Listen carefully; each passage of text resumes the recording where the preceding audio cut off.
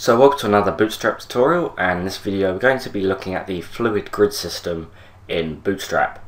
Now this system is basically what we're using for this. So it divides our page up into as many sections as you want.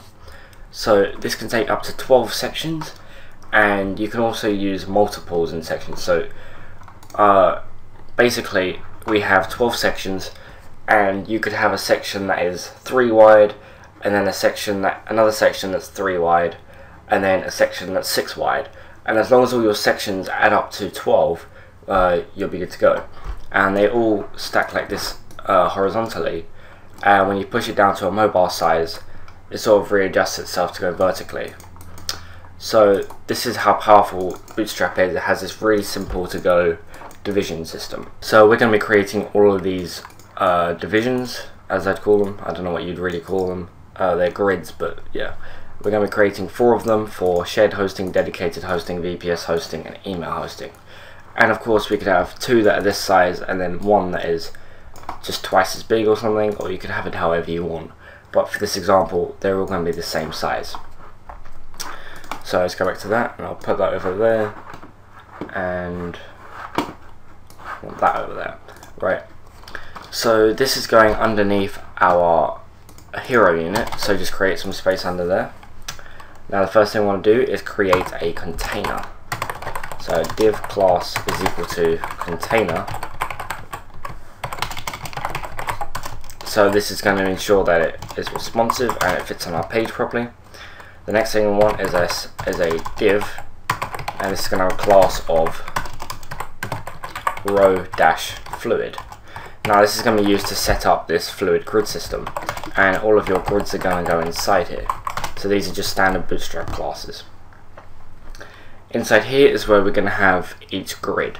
So a grid is a div, so we can do that. And then they have a class. Now I said that they add up to 12, so what we do is div class is equal to span and then you put the number which has to go inside 12 so for this case we're going to be using span 3 so if all of them are span 3 we can fit 4 in there because 3 times 4 is 12 uh, I'll leave a link to the bootstrap documentation about this below in case I'm making no sense of this. But basically you have 12 slots so this is going to take up 3 of those slots in a sense. Um, and inside here what we're going to have is a header 4 and by the way you can have normal HTML inside these classes. And this is going to be shared hosting. And we'll have a paragraph. That should be up there. We'll have a paragraph in there and I'm just going to copy and paste some lorem ipsum text into this paragraph tags. So save that. So now if we go and have a look in here and we refresh you see we've got shared hosting and it's only taking up one quarter of the entire container. And that is because we use span 3 and there are 4 sets of 3 in 12 so now we can just copy this and duplicate it. Remember this will only work 4 times because 3 will only fit in 4 times. So now if we refresh that you see we've got 4 of them. If we were to put a fifth one in there oh I just closed that. I'll come back to that now it just messes up, so don't do it. Uh, and I need to go reopen that because I just closed it. Right, okay, so what we can do now is we can just change these to dedicated, dedicated hosting, VPS servers, and email hosting. Okay, so if we save that, refresh,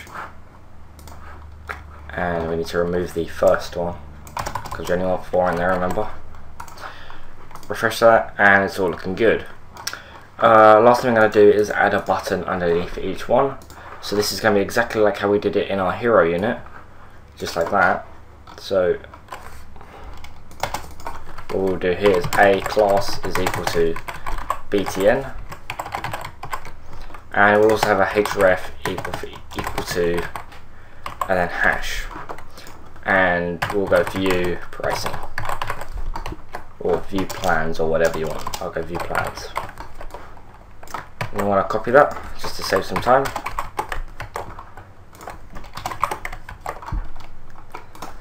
Just under each paragraph tag, save it, and refresh, and it's all looking really good. So now we've got these buttons here, obviously they don't do anything. Um, in the next tutorial we'll be looking at modals, which will give us this pop-up box.